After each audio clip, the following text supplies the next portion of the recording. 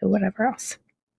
Hi, friends. Welcome back to the library. I have with me today author Mandi. Is it Kontos? Kontos. Kontos. So interesting. Okay. Accents are weird. Different words, different letters. Yeah. Um, but I am super excited to be talking to you because I've been watching, slightly stalking your Instagram. so I'm like, I, I want to, um, I just really want to chat. Um, but first I want to get to know you a little bit better. So tell me a little bit about, um, how you got started writing, how long you've been writing, just kind of your journey. Yeah, um, I guess we probably should go all the way back to the beginning. So I started writing as a probably 12 year old. Um, which makes me very old right now. But um, I I actually hated reading and writing until I got to that point, and I actually had um, a family member gift me "Tomorrow When the War Began" by John Marsden, which is a very well known book. I don't know if it's something that you guys would know, but in Australia, it's a very well known book, and um, I started reading it and decided that it was the, the book that got me into any kind of like reading and writing and from there like binged anything i could get my hands on and decided to start writing um, faded fragments actually was a english assignment in high school that i started and um, i kind of started it and then from there branched out and it became the novel that it is, but it took 20 years to get there. And um, because of this novel, I actually then went to uni and studied um, a Bachelor of Arts where I majored in creative writing and women's studies. And then I did a Bachelor of Writing and Publishing. And I've recently finished a master's in creative writing because I love everything and anything there is to do with writing. So I have been like, give it all to me. And then I finally gotten to, to get to here. And yeah, I finally have my novel that's published and it's the first book of six. So. Oh, yeah. of six. Okay. Yeah. All right. um, I I had no idea you had your master's. That is amazing. There's so I didn't even know it could go. Okay, so obviously I know you can have a master's and a, and a doctorate, yeah. but in creative writing, I figured at some point you just hit your limit. I guess I should have known. Well, this I is the thing: is sometimes I'm just like, do I want to go back and do a, a PhD in creative writing because I can do it? But I was just like, look, I've I've done a lot. Do I really want the doctor part at the part of my name? I secretly do, but mm. it's a lot of work. it is a lot of work. I could not imagine. But that's crazy. How many hours did you roughly have to put in to get into? Too many. Too many. I actually did the degree. Um, it's a year and a half degree, but I did it over, I think it was th- oh, maybe six years because I was doing a subject a semester because my brain tried to do two and I was like, uh uh not, not with the real world. So like it's as you get older, I feel like when you come to studying, if you're fresh out of school, you're like, cool, just get it all done. But as I found as I got older, I was like, I could never do full time study again. I'd need to do like bits and pieces. And the one subject was enough to be like, it feels like full time study just because it was so intense. But yeah, I, it took me a little bit of time to get there, but I got there. So in the US, they have you um, do a basics, like you still have to do um, essentially like two extra years of high school, which is like, you know, history and yep. math and all that outside of your actual like focus. Is it the same for uni for you guys? No. So, you no? but basically you hit like we have it called year 12, obviously senior year for you guys. You have year 12 and then you um, basically take a, a, a an ex- like a couple of exams, and that kind of gives you your overall score to get into uni. And then um, that score determines, like, depending on what you want to go into, it can be anywhere from like 99% to, you know, 50%, depending on your score. And you kind of get into the uni degree. And once you're in there, you're, that, that score doesn't matter. And it's completely different when you get to university. That's crazy. Yeah, for us, it's like, um, so like, obviously, the majority of what you want to take is supposed is around your major, what you actually want to study. And then there are like uh, minimum requirements. Like you have to, if even if you're going to like into creative writing, you would have to do um, a physics of some sort, a health of some sort, a math of some sort. Like it, oh it's an goodness. additional. Yeah, I know that. Yeah, I know when I did it, like literally, you just had to make sure you had English. Um, I think there was English was the only kind of thing that you had to have. I dropped any kind of like oh there was the science. I did like psychology, um, but once you kind of got to year 12 you could as long as you had those i think those two core things you could do whatever you wanted so i actually did like a lot of a lot of stuff that is not helpful for me now but like it's fine. Yeah, one thing fine. my um my parents ingrained in me was the one thing that someone can never truly take away from you, even if like you're traveling and you lose your credentials from country to country, um, you still have that education. Like you still went through the classes, you still learned everything. Um, so for me, going into college, that was really important for me. I was like, I'm going to take whatever it is that interests me, regardless of wherever I end up. And I ended up not needing it at all. Um, because outside of having a creative podcast, I am a service rep. So, oh wow, I'm in customer service. So it was like I didn't really need it because I had that experience from when I started working at 16. But yeah, did you do you want to do something more with your like with creativity and stuff like that, or is it like you prefer to be on the other side? I kind of prefer to be on the other side because while this is fun, um, I could see that even though like like with writing, it, it would be a labor of love sort of situation, but at some point I would probably burn myself out. Yeah. Because I am one of those like if I am really in it, I'm gonna like full force hard and heavy. And i have done that with quite a few of my social medias a couple times and it, it did not work out well for me. I was burnt out very quickly and i was just like okay maybe not. Yeah it does it is quite hard to kind of keep that creativity going.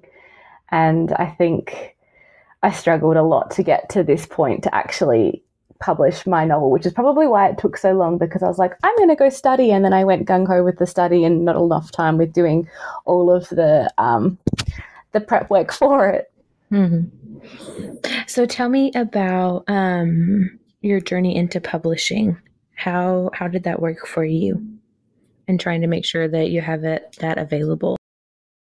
Yeah, so I um, originally I wanted to go traditionally published. I actually self published um, this novel just because, the end of the day, uh, I like the idea of pitching, but I struggle to put everything that I know into a small little document to then be like, hey, please like buy my book because you know all of this. So, um, my degree that I did as well, um, they actually heavily focused on publishing and kind of doing the indie route as well, which was quite unique, which is probably one of the reasons why I chose to do the degree. Um, so they kind of gave us all of the tools and the knowledge to basically publish things ourselves so that we didn't need to rely so heavily on publishers. Um, I guess the downside of that is that it's all quite a little bit expensive, a little bit kind of mm-hmm. more time inclusive because you've got to be the one to make the decisions of you know the, like who you're going to go for a cover artist and how you're going to market it and all of the typesetting and the editing and the proof edits and stuff like that so it's quite a tedious kind of journey but i really enjoyed it and i think that um, i found that i thought that you know doing a draft was the hardest part, but I actually dislike all of the editing. I wish that it would just be like, bam, magic, and it's there. so I think my poor editor, um, I at the time I had like when Faded Fragments was actually supposed to come out in 2022. That was my plan, but um, at the time I was getting married, so I was planning a wedding.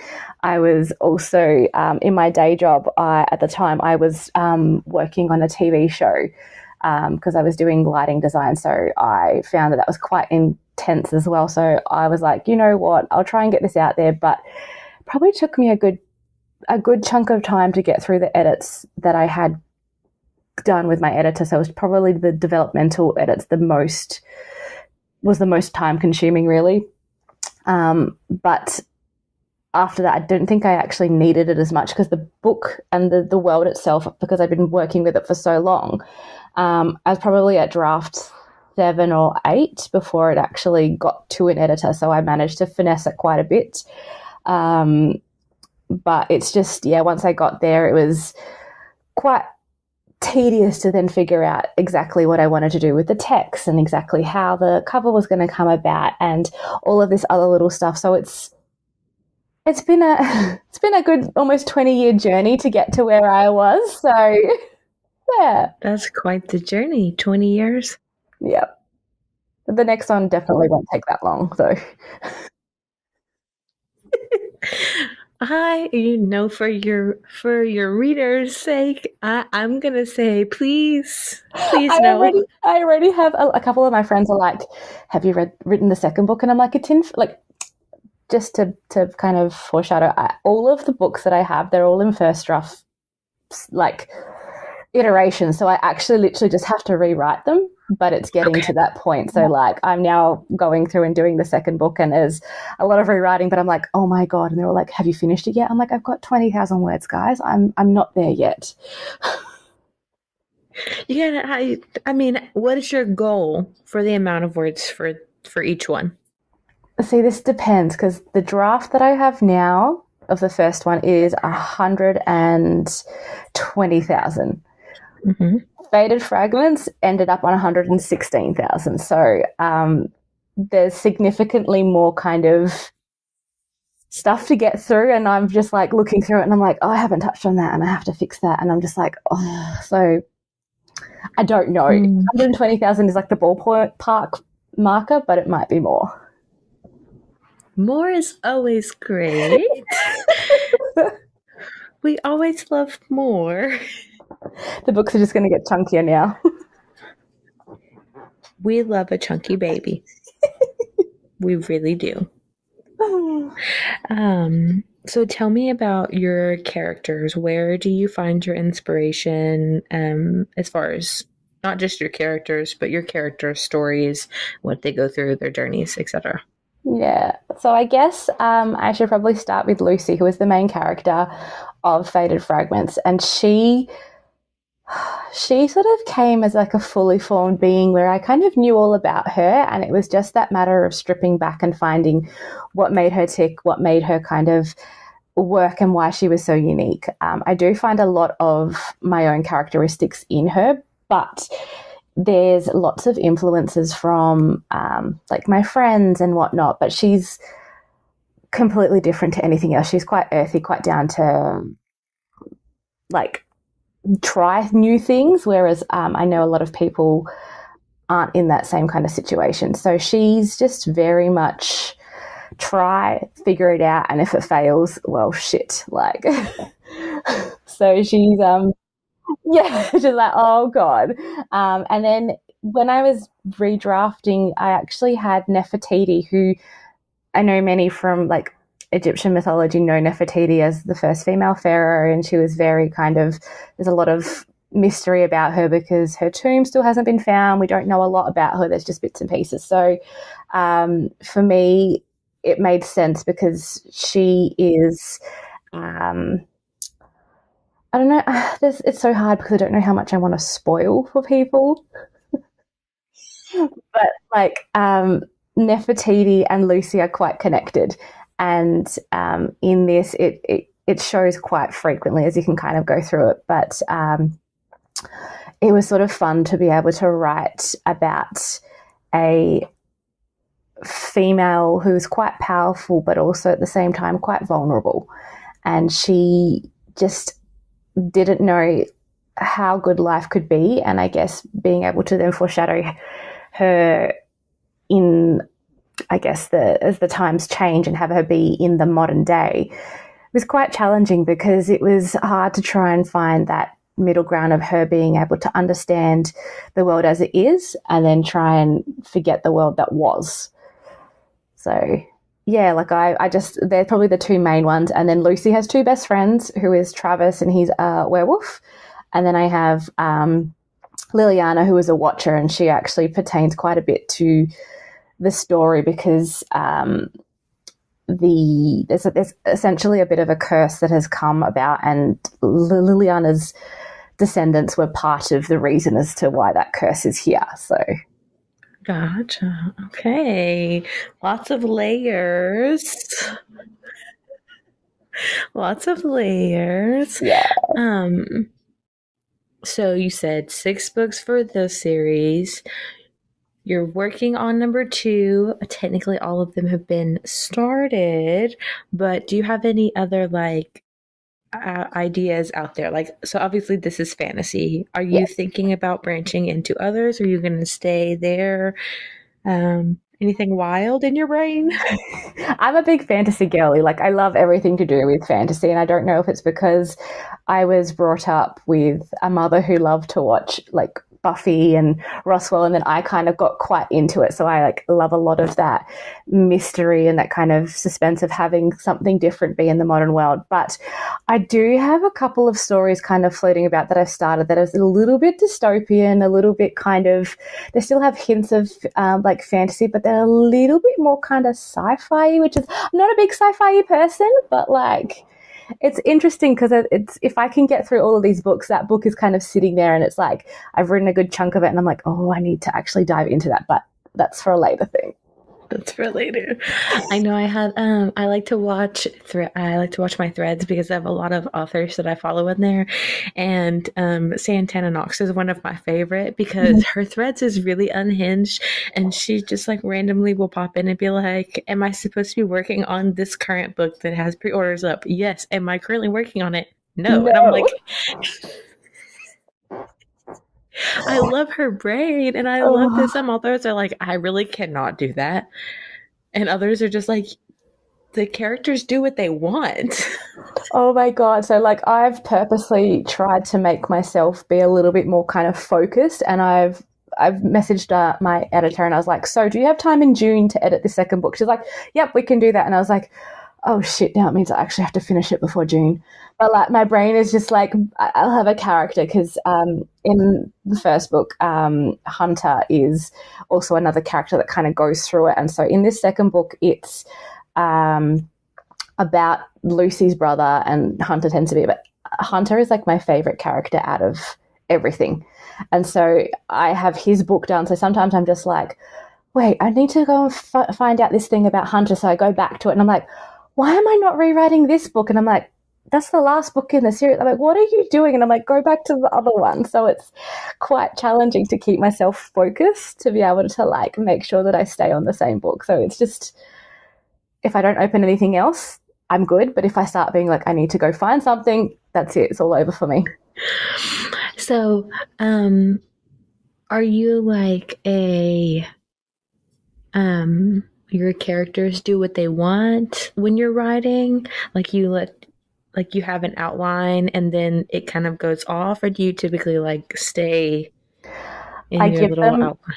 I give them a lot of freedom. So like I the way that I kind of um, like to get down the stories, I have a bunch of sticky notes and a pen and I literally write down every kind of thing that could happen and if it works its way into the story, great. If it doesn't, uh, that gets moved on to another thing. But a lot of the time, I'll have like the skeleton of a story and the characters, and then I won't quite know what's going on. And then eventually it pops up as I'm writing, and I'm like, huh, that makes sense. And it happened with the third book, which um, I was writing, and I have so many different influences, so it kind of tend like it tends to pepper through all of the books. So the the third book, um, I you know thought about dabbling and trying to write the second and third together to do like a rapid release, but it just doesn't work. But I'd like to do it. But the, the main character from that, um, they I did not know what they were or anything like that, and then I found out about a quarter of the way through and I was like, well, shit, that is why I found this so difficult. And now I'm just like, now there's a whole other thing I need to kind of find out about to be able to get it going. So they have a mind of their own, and I let them do that. Just run free, my pretties. but come back when I need you. yes, yeah. To like not too far. I love that. So, um, do you read at the same time you're writing? I it's really challenging. Like I'd love to be able to read, and I actually um, sometimes it's a yes and no question. Just because I I find that if I start reading particularly if it's an author that I've read quite a bit of, my writing then kind kind of sounds a bit like them and I don't like mm. that because like it's quite easy to slip into the voice of other authors or at least I've found that it is. So I try to not read as much but at the same time when I get stuck I'm like okay cool maybe I will just read a little bit of this and it'll get me into it and at the same time TikTok is horrendous because my TBR keeps keeps growing and I literally yesterday I saw something um, Oh, I picked. I, I, just bought "He Found Me" by jo- Joy Mullet, and literally, I just saw there was a thing that popped up where it's like, um, what was it? It was. I made a you know a pact when I was sixteen, and I got a um, invitation to my own wedding, and a plane ticket, and I was like, take my money because I was like, this is great. And then it's like, and apparently he's a mafia like king, and I'm like, yep, done. I need this. So now I'm just like reading it and I'm like, why am I doing this to myself? So that sounds like me. Anything like t- TikTok is like doom scrolling late at night, which for me, late at night is like 9 30 p.m. It's really not that late. I I my um my my husband and some of my friends are like, You're an old lady. Like you go to bed There's like nothing wrong with going to bed early. I wish I could do it, but my brain like I go lie on my couch and my husband's like, You're gonna fall asleep. I'm like, No, no, no, I'm gonna read. I'm out like a light. but yeah, yeah. So like I'm scrolling at like nine o'clock at night. Everybody else is like, oh, you know, it's the middle of the day for them because they stay up until midnight, two or three, and TikTok just goes a little crazy. That early. I have woken up from a dead sleep at 3 a.m. and started scrolling TikTok, and I'm just like, what is happening? The algorithm just like it's weird i've i've found recently that a lot of like people that i've followed have like dropped off and then all of a sudden they're back and i was like where did they go what happened like what i'm like maybe i've been scrolling too long that they've just popped back mm-hmm. and then at nighttime they put in their little ads and it's like you've been scrolling for a while maybe you need a break and i'm like don't call me no, out I don't. That. How dare you? No, I don't. they're like, maybe you should take some, maybe you should take a nap or get some food, or and I'm like, don't tell me how, how to live you know my, my needs. how do you know my needs before I do? My body communicates to me. I may be ignoring its signals, but it's still it's communicating. I know oh what it is. Absolutely. That's crazy. So we're not um, reading, but what when you do read what is your like go-to genre that you like to pick up? Is it fantasy as well or do you read well, i kind of I, I do stick quite a bit to fantasy but um i do like a little bit of crime fiction. So um i'm a big fan of jd robb.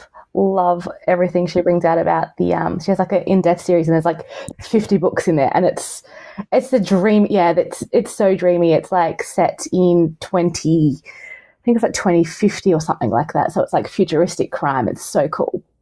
Um, I do also really like. Um, she she came up and I kind of got a bit, a bit sad. But Laurel K. Hamilton, there was a little bit of a thing where she just was a little bit not as educated about indie writers because obviously times have changed since when she kind of started and whatnot. Um, but yeah, a lot of the authors that I kind of quite like have started to be quite problematic. So I'm just like, I, I want to read you, but I can't. And I'm like, oh, it's so upsetting. But it does tend to kind of beyond that. I have started to read almost straight fantasy, which is, I mean, romance, which is new because I always need a little bit of like that urbanish touch to it. Mm-hmm. Um, but I've yeah, I've picked up. I've, i read um, "Don't Kiss a Bride" by Kerry and Cole, which kept popping up on my TikTok, and it's a marriage of convenience. And okay. I kept being like, I'm, I was like, no, that's fine. And then I saw it and I'm like, all right, I'll buy it. And I actually really enjoyed it. And the hardest thing I have as a writer is that switching that writer brain off and being a reader mm. versus being a writer. And I like look at it and I'm like, oh, this writing is is quite challenging to read. But I'm like, you know what? Switch off that brain and come mm-hmm. back and just look at it as like a reader. And I'm like, okay, cool. It's a bit like it's enjoyable when I can do that, but I find it hard to switch off and do that. Yeah.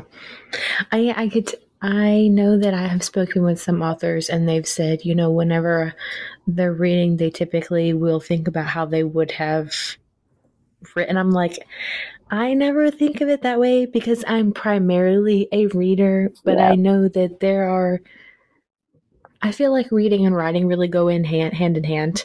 Um, and so there are a couple different story ideas that I've had before, and I'm like, eh, I don't know how that would work. That would yeah. be really neat. Yeah. We're just gonna write down a couple ideas and we'll come back to it in maybe a couple years.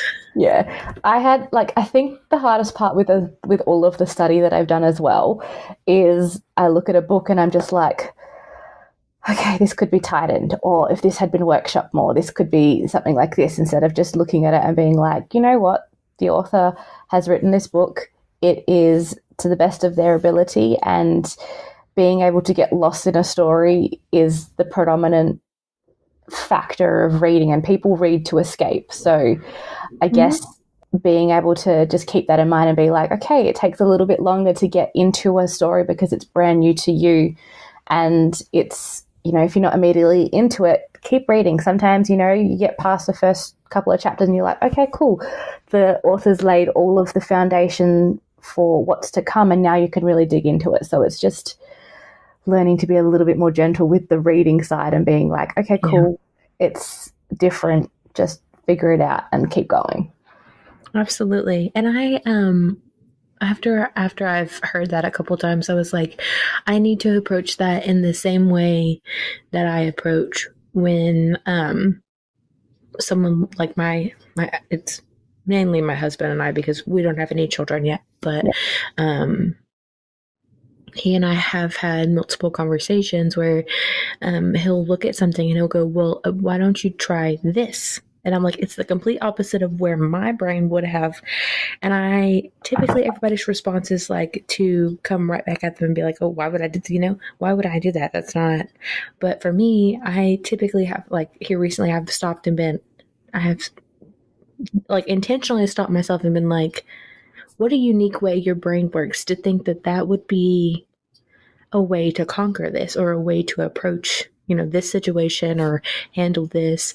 And I've started doing that with some of these stories. I'm like, what a unique way that this person's brain works. Because I would not have gone that route with this story, or I would not have phrased this line in that way. And there are a lot of times that um, I've done I've done some PA work and I've worked as an editor. Um, granted, I just have a college education, so I don't have any actual still a good education. Yeah, but a but a good education can get you somewhere when it comes to grammar and spelling, yeah. phonetics, and all of those things. And so I just did some some alpha and beta stuff. Um, and I was going through looking at them, and I told one of the authors, I was like, I really enjoy this scene, but I feel like this could possibly be more um, impactful if you tried to phrase it more like yeah you know, if you're open to it. If you're not, that's completely okay. And you can tell me to shut up and go away, and I will. Yeah.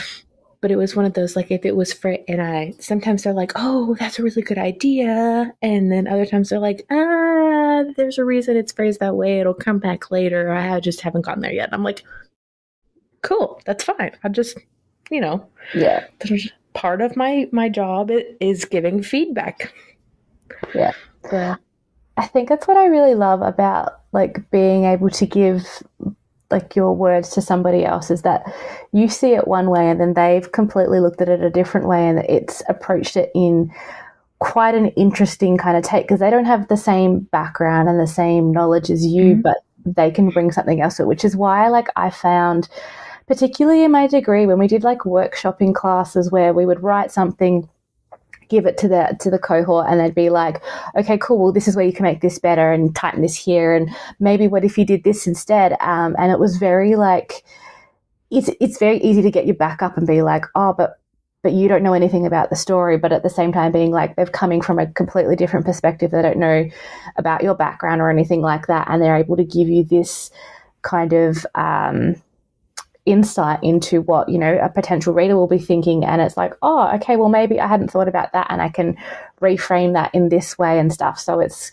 really interesting that you know editing and, and get, doing alpha and beta reading and stuff like that is quite a really great way to kind of flesh out and see where somebody else can approach this story and how it can better your the story in a whole sort of yeah. thing yeah, it really is. I um and I love that um a lot of indie authors are looking to their readers who have been reading or like really really interested in being part of that um, to get their alpha and betas because you know it that's the majority of your consumption already like you may be losing a little bit off of that but if they're on their you know, that person's not necessarily buying, but at that moment. But like for me, if I were, if I'm alpha, beta, or arc reading, um, I'm more likely to go back and buy a couple copies later. Yeah. I'm yeah. more than likely going to buy a regular print and then a special edition. Yeah. And and it's one of those like maybe up front your original like you're not profiting off of it but later on down the road i'm telling all of my friends i'm telling all of my family members who read i'm buying those copies for me. I'm probably buying copies for my friends. Yeah. Absolutely. And that's what i actually like that's actually quite funny. So my my best friend and i um we connected during uni over the fact that we both had a book in us that we'd been working on for the same amount of time. She released her book a year before mine, but um, it's I'm just going to give it a subtle little plug. It's called Unwinding the Spiral by Peter Hawker, and it is the most amazing. Like it's YA, but it's it's just beautifully written and. I remember the first time that I heard about it, and I was like, oh, that's a really unique kind of thing. And then she had asked me to edit it. And then from the time that I read it to when I actually no, I actually didn't even get a chance to beta it because I was just so busy with trying to do my, um, uh, I guess my um, my wedding and everything like that. But I beated her like um, she has like a free little book on her website where it's like a prequel to everything and I beated that and I was like, oh my God, amazing. And so I actually, as soon as this book was like up, I was scouring. I'm like, where is it? Have you put it up yet? And she's like, I'm getting there, I'm getting there. I bought the first copy off of Amazon. I bought the first copy off of her website. And without knowing, like, because she's she just didn't say anything. Like, I got it and I read it, and I had actually when the book came through onto my Kindle because um, she was having some issues with the paperbacks. I went back and actually, you know, was reading it, but I flicked back to see what the actual, like, you know, dedication was. And she'd actually dedicated it to me, which I did not really, I like, when I saw it, I bawled my eyes out and I was like, excuse me, how have you kept this a secret for the last six months without telling me? And she's like, yeah, I just, I couldn't. And I was like, oh my God. But like, just to be able to see how much that story had grown from when I first saw it, you know, 10 years ago to now gave me goosebumps. And I beated her. Um, it sounds like baited, beat. I don't know. Is it baited or beated? I don't know. I'm gonna say baited. Yeah, baited. That's, that's a. it's probably just my accent. Everyone's just like, "Why are you beating a book?" We're not but, beating a book. We're not beating a book. We're not, no. um, but I, I, I baited that book and to to read it and it's like it's the second book in the series and to read it and to be like holy shit to see how far she has come with her writing to this second book and knowing everything that I know it's just so exciting to see how much growth can happen when you give the book out to somebody and it was like okay cool if you approach it this way and this way and you know mm-hmm. it's just oh, oh, i love it i love it i just i am pro writers i feel like everybody should be no matter how scared you are should be sharing some form of your story just so that then you can get it out there and if there are crickets, that's fine. There will be a couple of people who will be in the background cheering it on and making sure that there's it's actually, you know, getting to people and to you yeah. know have people buy multiple copies. Like I did a couple of book launches and I had a friend who bought the hardcover. His wife bought the paperback and then they bought two other copies to put one in their like little um, no, they bought one to give off as a Kris Kringle and then that one for another friend. And I was like, oh my goodness, I would not have thought to have given a book to somebody as a Kris Kringle and specifically an indie author. So it's fun to get bits like that and to have people buy a book specifically to put into those cute little street libraries where, you know, people just grab a book and take it, another book. So it's, that's the whole point of getting it out there. It doesn't matter how big your, your actual reach is. It's about the small little ones that I find. Oh yeah. Oh yeah. I actually do that pretty often. Um the local gas station or not it's a grocery store slash meat market, but they have sta- they have uh, pumps. Yeah, they have gas. They have pumps outside. Um, yeah. But it's a small market. It, it's a very small market, and they it's fresh butcher every day. Wow. Um, so yeah, it's actual. That's it's not fun. like yeah. Yes. Um, so they're in the back actually butchering the meat and they bring it out to you and they'll cut it to the size you want or grind it down or whatever. Um, but they actually keep a bookcase and it I mean, it's a small bookcase. It's not very large, but um, they keep a bookcase in the store that's yep. made out of like old wooden milk crates. Um, first of all, that was neat that to so see neat. because you don't see wooden crates like that very much anymore. Um, and then to see that they had fashioned them into, but a lot, um, it's free for people to come in and leave some or take some, uh, much like a free library. Um, and a lot of our local parks for the city have free libraries as well. So whenever I get to a point where something is no longer um, bringing a certain level of joy to me and something I know is no longer going to be like I maybe I enjoyed the read, but it wasn't something that I want to keep on my very limited shelf space. I'll take it down there and I'll be like, all right, I'm just going to put this in the shelf or I'm going to put it in the free little library. And I know some of them, some of it is smut. Yeah, we're just yeah. gonna be honest. We're just kind of it's a gift. Um, and a lot of the stuff that ends up in the store, you can tell that it's um, there's nothing wrong with this, but you can tell that they're older books. They've yep. been donated by someone who either their kids didn't read or um, they no longer can read. The the books are probably 30 plus years older and i mean they're well worn um, they're murder mysteries they're in the small mass the small small oh, mass yeah. mass yeah. paperback um, so it was it's one of those like i love to go in there and to see um, mainly because a lot of the newer stuff that's popular is not in there. Yeah. Um, so I get to see what was going on. Um, if there's anything different that catches my eye, a lot of it is fade to black romance. A lot yeah. of it is murder mystery, and I, I'm here for the murder mystery. Okay, the crime and the thriller. Yeah, thriller's a little bit harder for me, but yeah. um, straight up murder mystery I'm there for. And I love like documentaries as well. Yeah. So it, it feels like a documentary to me. Yeah, yeah.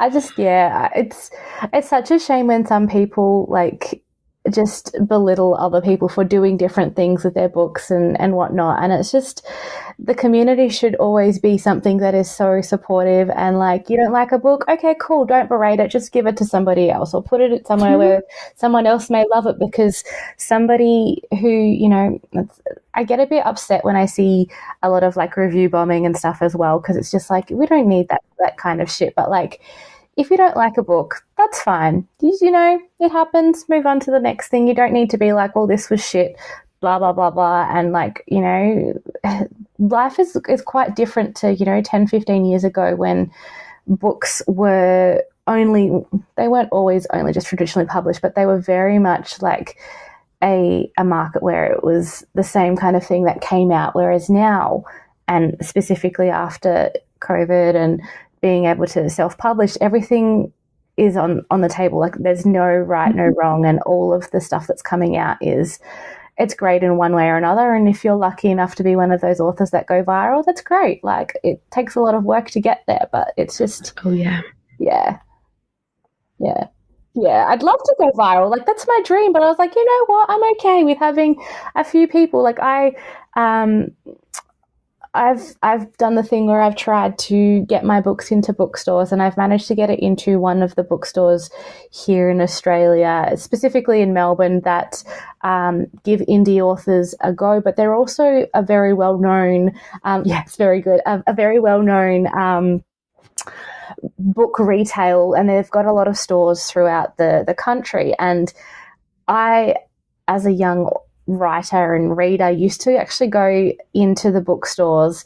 Um, specifically, that one, there was one in Adelaide that I would always go to where I would go there and I would peruse all of the shelves. I'd go back to either the writing section or the fantasy section and just see, like, I'm going to be there one day and to actually be able to get my book in there. And I actually just had somebody um, come across my TikTok that they saw it. They're like, I literally just bought your book because of the cover. And I was like, oh my God, brilliant. I go, where'd you buy it from? And they're like, I got it from Dymocks. I was like, I was like, you actually bought a book from the bookstore that I've, I literally dropped it there like two or three weeks ago and they've bought a book. And I was like, brilliant. I was hoping to maybe sell, you know, if, if I sold none, they would give them all back because it's on consignment. But like to be able to sell one, I was just like, that amazing, amazing. Your cover is beautiful. Thank you. So oh I, am like, I need to figure out if I can get this from Amazon for the US. If you it's can't, work. I know you can get it directly off Ingram. I Amazon stresses me out because I try and be like, why is it not on there? Because like I can see it from my end, and then I've actually gone to support and been like, is it actually available there? They're like, yes, because you're in Australia, it says that it's not available. And I was like, okay, as long as it's available, it should be there. But if you do buy it, let me know. Give me your address. I will give you a book plate, and you can okay. have it signed. I'm gonna, I'm like, now I need to know if it's actually gonna show up because it's gonna make me upset if it doesn't. if not, you can buy it directly off Ingram.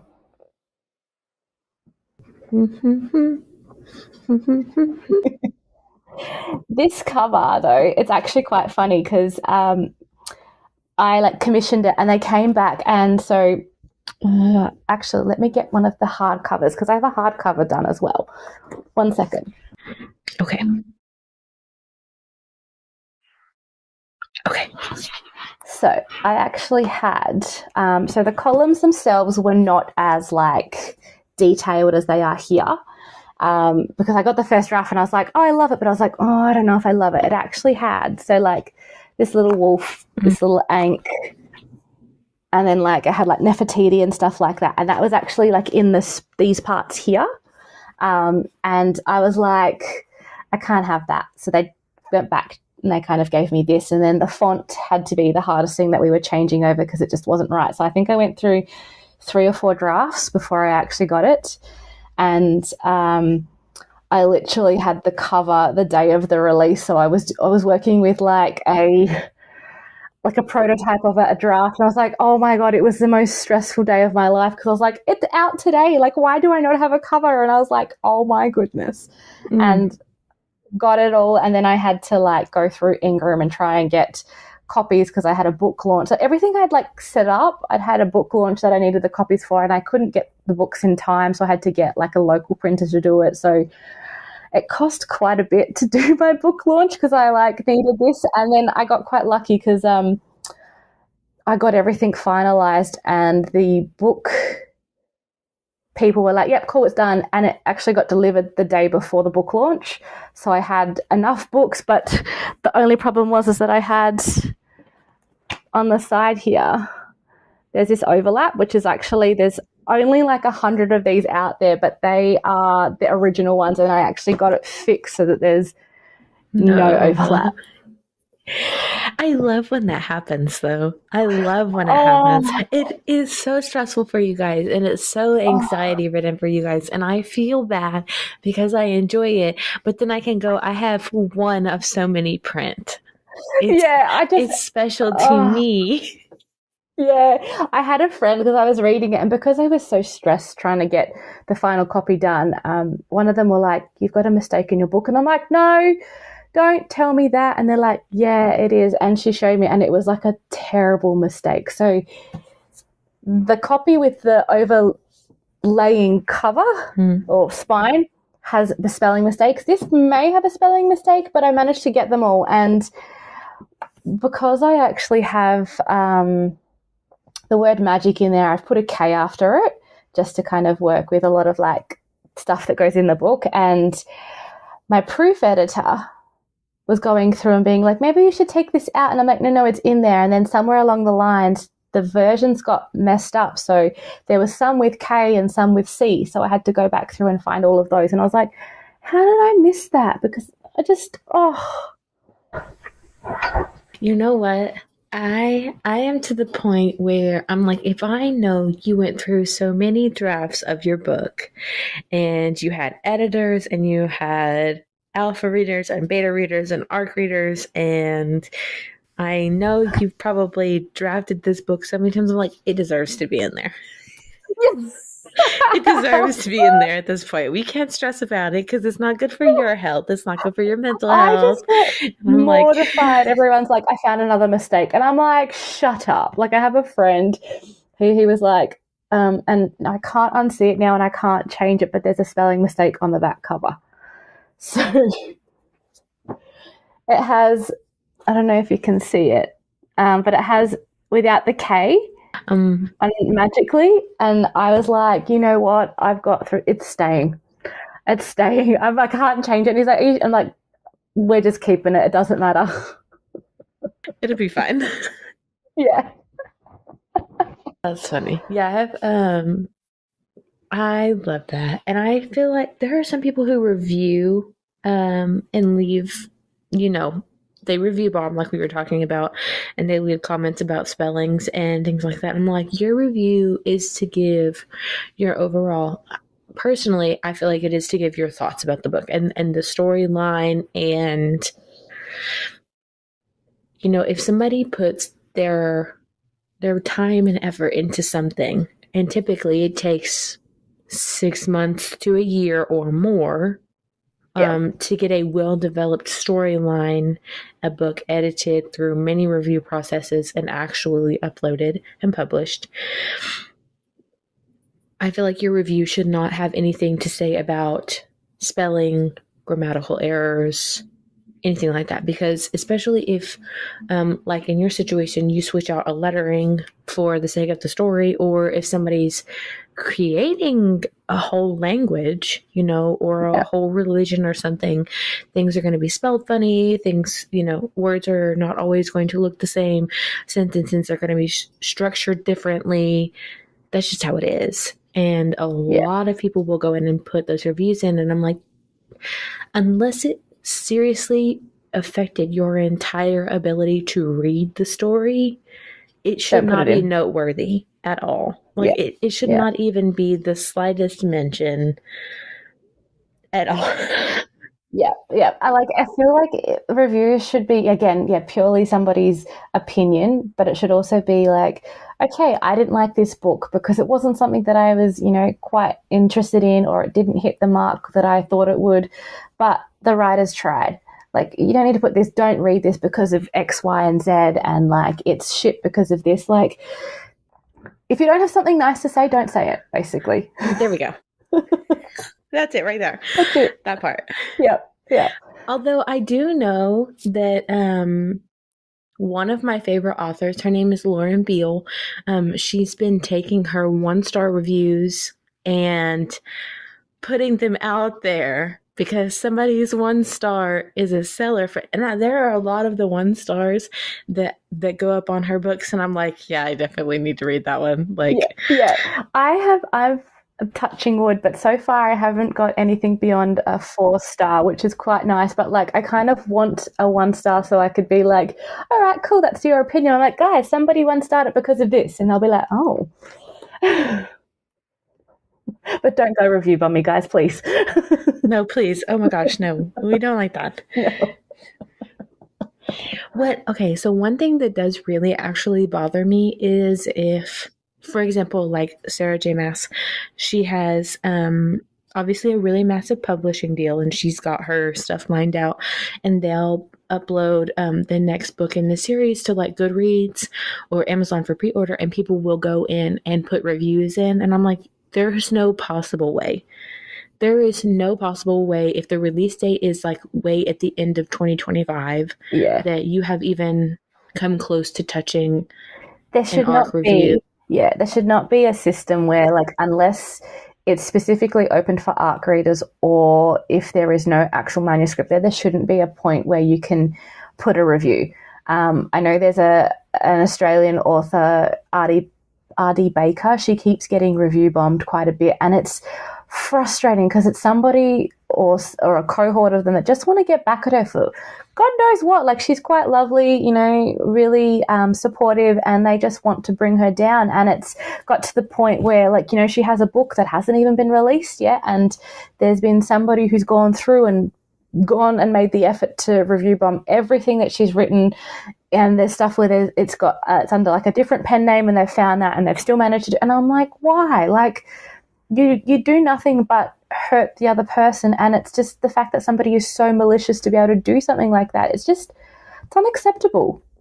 Like do yeah. you not feel guilty about that? Like you're just hurting somebody. I also, and I don't know if you've seen this because I feel like our TikToks are a little bit different algor- algorithm wise mainly probably because of the country difference but um, there was someone who admitted in a facebook group that she was an author and she was going in under um, a false identity and agreeing to be on other authors arc review teams and writing nasty reviews about their books and Stop it. I no, it broke my heart. Oh, that was like the the Cait Corrain. Is it Cait Corrain? Where uh, I got one side, but anyway, so you keep going, and we'll come back to that.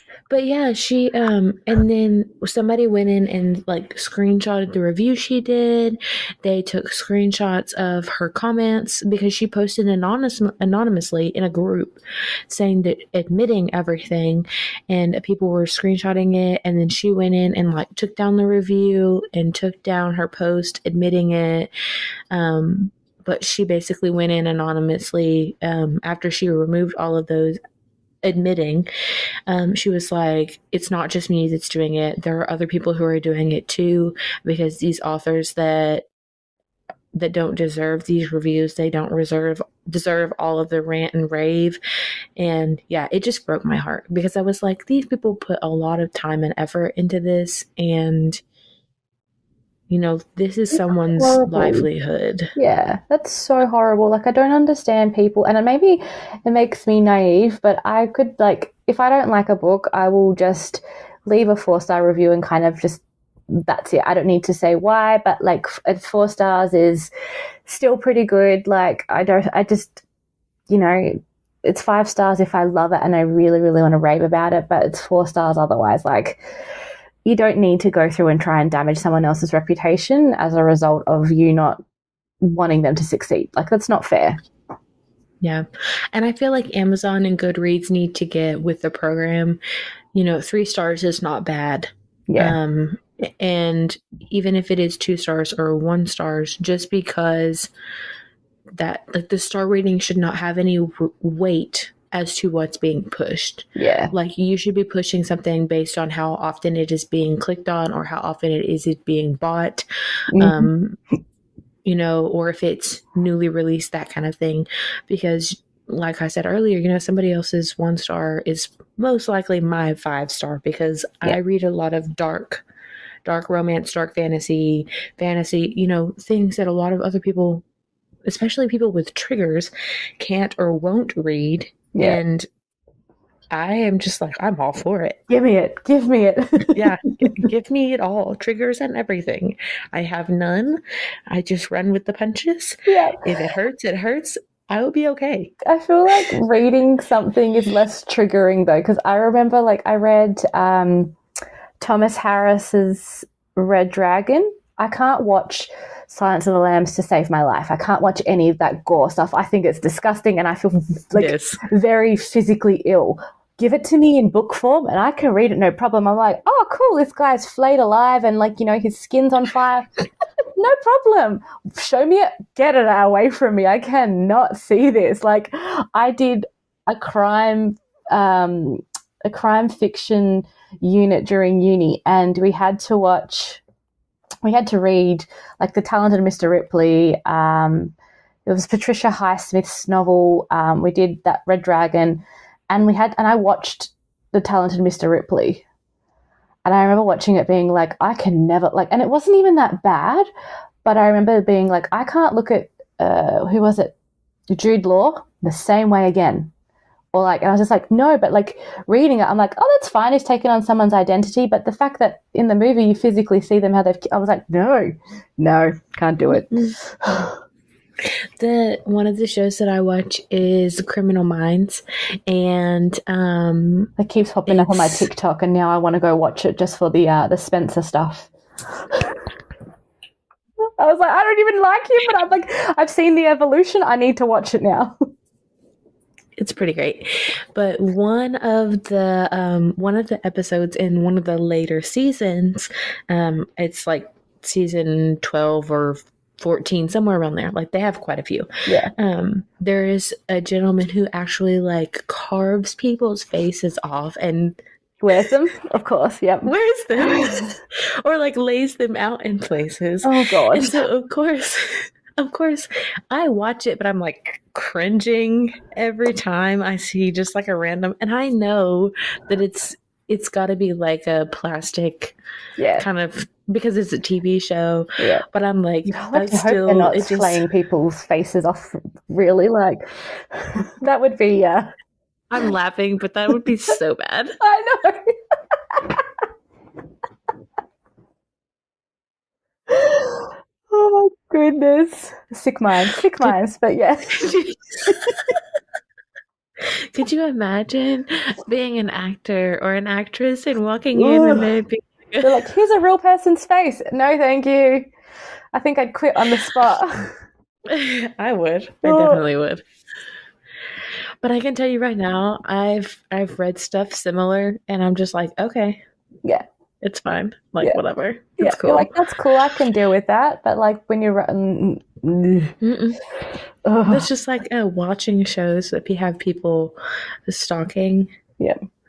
I'm like I can I can watch it. The thought of that happen like if it happens to you, you're like. Mm-mm. I can I can watch it because I'm like that's weird, but then like a couple days later, I'll feel like somebody's watching me, and I get like I get like crawlies. like, I'm gonna like I have the thing where like I go to bed and I've got to make sure that the blinds are down before it's too dark, and I've had this ever since a kid, and I've always lived. My windows have always been against a fence, but like my biggest fear is to see a face outside my window. So I always quickly put the blinds down, and I'm like, nope, I don't care how to just quickly, and then we'll run out of the room because I was like, nah, can't deal. And then I have like a friend who lives in the um, Appal- Appalachians, not Appalachians, Appalachia, Appalachia. Oh. I, I don't. So. I don't. Yeah, she lives up there, and I like that came across my TikTok, and I was like, um, "Excuse me, you didn't tell me that where you live with this bad." She's like, "Yeah, I remember going into like the forest near my house, and there was like somebody."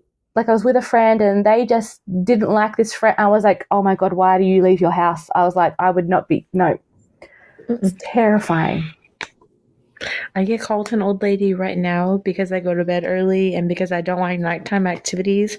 I would really be an old lady if that was happening local to me because I would not be, I would be a shut in. Yep. Like I'm not leaving my house after it gets dark. Nope, it would be delivery all the time.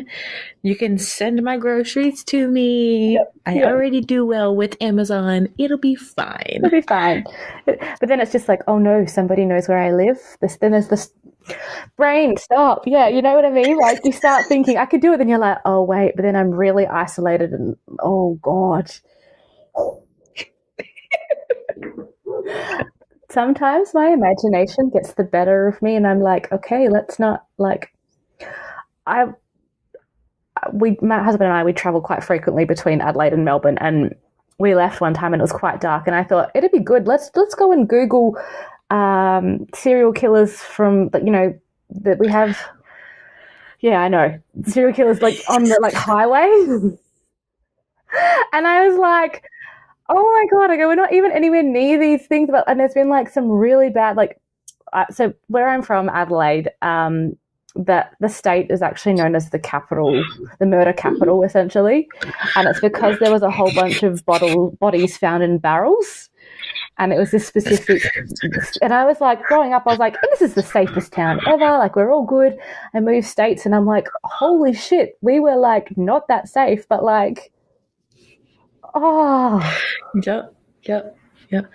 Okay, first of all, you never Google that at night. so then my husband was driving. I have to make sure all the doors are locked, and I'm sitting there going, just gonna sit here. And he's like, "What's wrong?" I'm like, "Nothing. Just keep driving." And I'm like looking, and I'm like, "Is there a person? Is there a person?"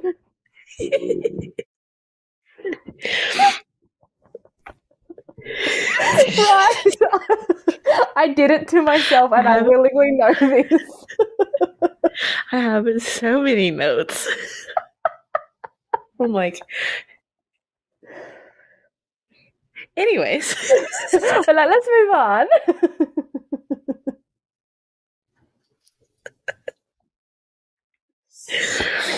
oh my goodness. Do it to That's myself. That's all it is. But you know what? We say that, and I'm gonna feel like I have the creepies. You're gonna message me tomorrow and be like, "I slept terribly because I decided to go and Google this." Oh, I don't need to know. I don't need to know our crime rate. I this is the United States. It's Oh. high. Um, so I I don't need to know. That's just like um the Second nature, almost. Mhm. Yeah, yeah. Yeah, yeah crime rates are, are extremely high and even if i feel like they're not i don't live that far from larger cities with Higher. really bad crime rate yeah higher Yeah. crime rates so it's just one of those like it, it i would never look at it but something that is um pretty common is video Video. doorbells have like little communities where you can post to them footage of like people's dogs or somebody breaking in so that you can get feedback to see if anybody else's cameras have captured them to turn into the police. Oh. So, um, I've seen on some of the video doorbells, you know, videos of that sort of thing. And something that is popular is the um, registered sex offenders. They have a ah. website they have to be on. Yep. And so if somebody new moves in, it goes up on the ring community. And it's like protect your, you know, all of that. Like, this is such an invasion of privacy. Absolutely, it to- is. and like I understand that if you if you do something to put yourself in that situation where you have to be on that list, like you've pretty much given up your right because you have to announce yourself. You can't live in certain places. You can't Yeah, be within. But Yeah. like for someone to actively be watching it, like how paranoid do you really have to be to be actively watching that website so much that you are posting about somebody moving into your area? yeah. They'd have like a notification where it pops up. and They're like, "Oh, okay," and you're like, "No, like." I didn't need to know that. I, let me live blissfully ignorant until I need Mm-hmm. to. Yeah. Yeah oh yeah.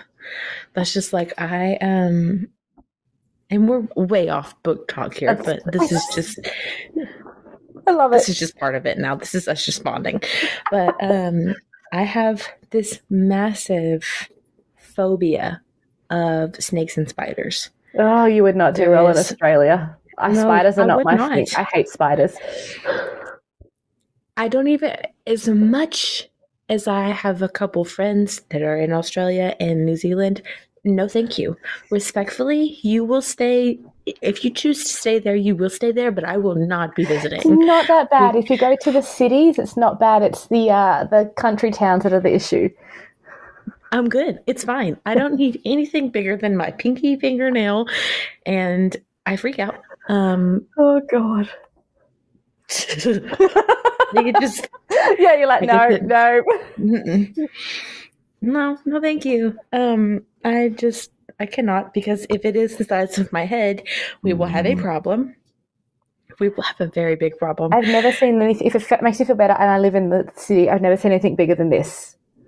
Okay. So it's not that bad. I just, but I've seen photos of bigger, and I'm like, Mm-mm. Mm-mm.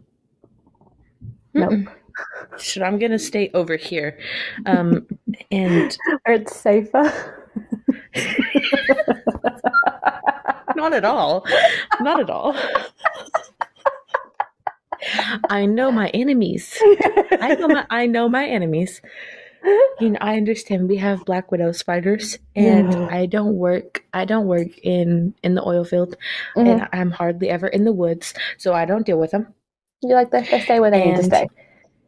And any sort of snake that would be around here is going to be a garden snake, um, or like a king snake that eats others, and that is my husband's job.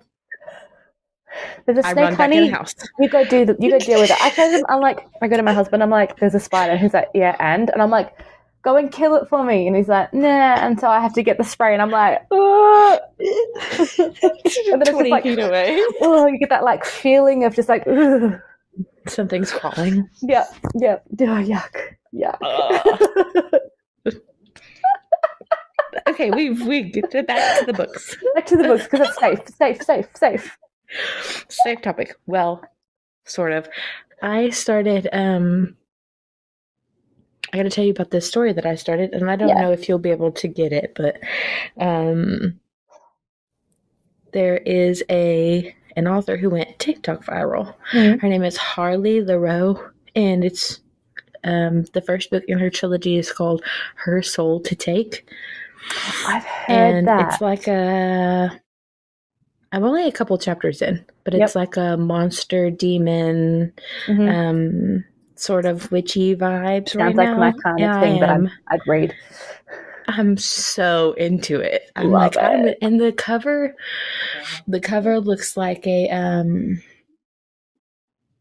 it looks like shoulders down of a more masculine figure Yep. that is tattooed out Ooh, tattooed out give me them tattoos. And I know. Me too. Uh, uh, Love it. yeah, ma- masculine figure that is um kind of buff, tattooed out, and it's got the um a skull with Oh, horns. Yes, I've seen this book. The- I've just I've just googled it to make sure. Yeah, I've seen it. Good old Google. Oh, Yeah, it's good. You're liking so it. far. I like it so far. excellent. It's very interesting. The female main character's best friend described her as a ghost goth girl. Ooh. So I'm kind of like, I really like these vibes. Yeah. I'm really feeling it. And Yeah, yeah, the main male character is a demon. So I'm like, I'm here for it. that's cool. That's cool. I always, I, I, it's really interesting because I read. Um, so I read. I don't know if you've heard of her, but Rachel Vincent. She's urban fantasy and does like. Um, she's traditionally published. So I found her first novel way long ago, and she's probably one of the authors that I kind of find quite close to. Like I, I love that whole genre. So like I find her as one of my very main kind of influences. And she has a series, like her her young adult series is um, Soul Screamers, and it's about a banshee who, um, yeah, it's really cool. Um, who basically like there's seven books, and it actually, as you go through it, each book is a different color that pertains to a um, a deadly sin. So like it's kind of stuff that's like that. And the first book Oh. is My Soul to Take as well. Um, so it's it's really great. I love everything she writes, and a lot of the reasons as to like stuff that's in my novels is I've got you know dual narration because she's done dual- dual narration, which was done like so viscerally that I was like, oh my god, like that's what's missing in my novel. So I'm you know added it and stuff like that. So it's she's amazing. Like if you have time to find her books, get them. I shall. Yeah. I shall. Okay, so to wrap up, I want to ask you. Um, so you said you might be going to editing on your second book in June, July, the summertime. Yes. So, like, when are we hoping to release? So, according, did I write it there?